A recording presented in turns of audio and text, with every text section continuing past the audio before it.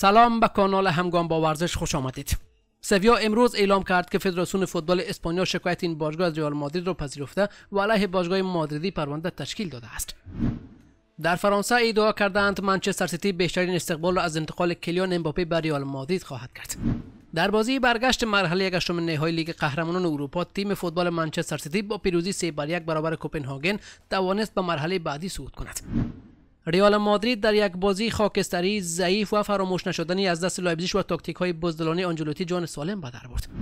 ارلینگ هالند با گلی که در دیدار با کوپنهاگن به ثمر رساند شمار گل‌های خود را در لیگ قهرمانان اروپا به عدد 41 رساند تا با رکورد اسطوره سیتیزن ها سرخیو اگویرو در این رقابت ها برابری کند. قبل از اینکه بریم به ادامه گزارش کانال را subscribe کنید ویدیو را لایک کنید با دوستانتان شریک سازید و همچنین کامنت های مقبول خود را زیر همین ویدیو بگذارید.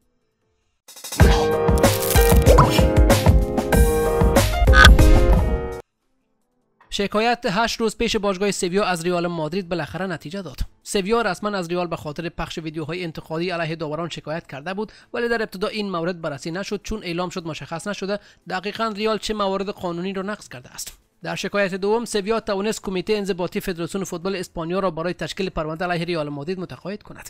سویا امروز اطلاع داد که شکایت مورد قبول قرار گرفته و اکنون فدراسیون فوتبال اسپانیا پرونده ریال را پیگیری خواهد کرد. با این ترتیب ریال طبق قوانین در روز فرصت دارد با ارسال مدارک از خود برابر این اتهامات دفاع کند.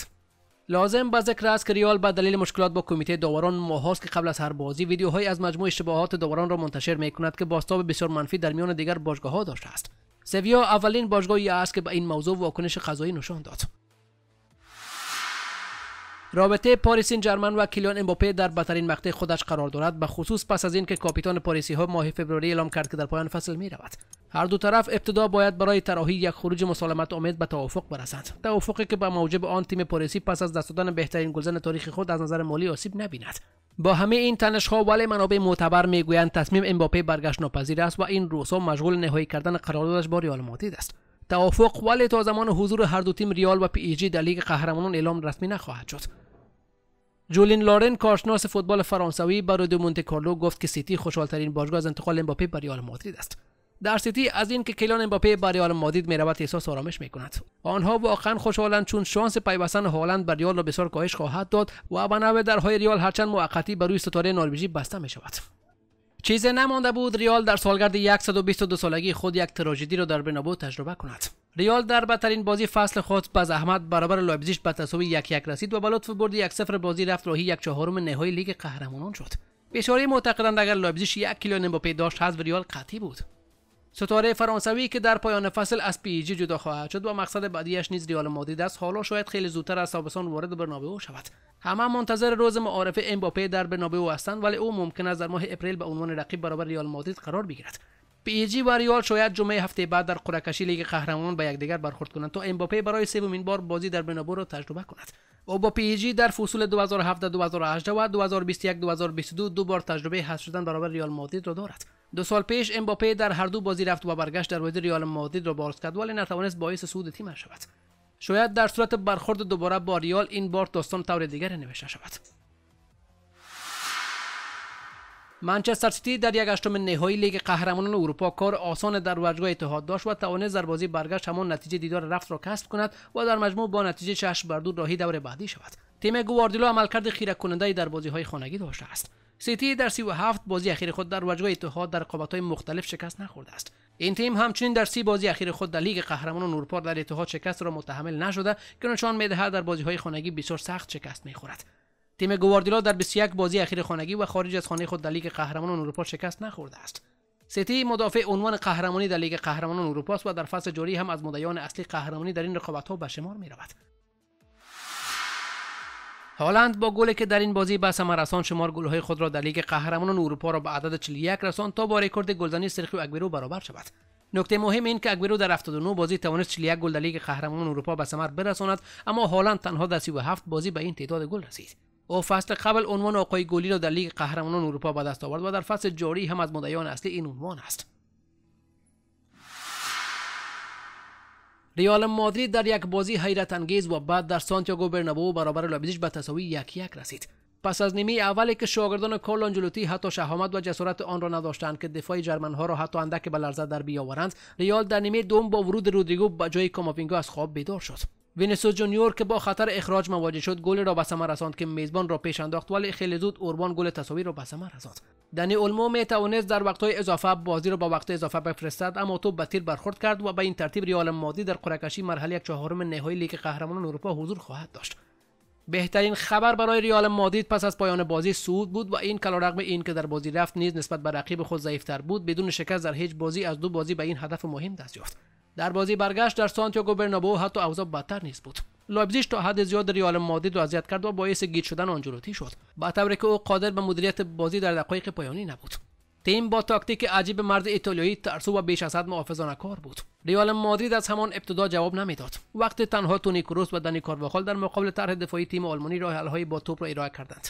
با کاماوینگا و شوامنی سردرگم و والورده تنها در جناح راست رئال هیچ عمق و حضور در زمین لایپزیگ نداشت. در یک سوم پایانی هم کسی نبود که به وینیسیوس و بیلینگام توپ بدهد. بنابراین حاصل کار در نیمه اول صفر ضربه به چارچوب بود. بدون هیچ امنیت دفاعی و انرژی برای حمل و انتقال توپ.